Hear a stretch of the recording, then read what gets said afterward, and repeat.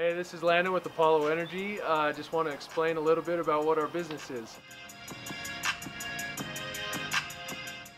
So we specialize in solar and electrical, helping homeowners and businesses reduce their carbon footprint while also putting a little bit of money back in their pocket.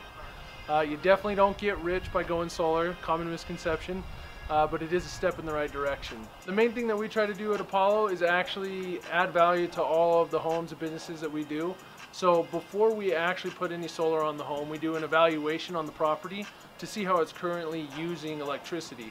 And then we see if there's anything we can do to bring down the consumption of electricity through added insulation, LED lights, uh, an upgraded thermostat, uh, all sorts of things like that to add more value to the homeowner so they have to spend less money on solar so they can get a quicker ROI.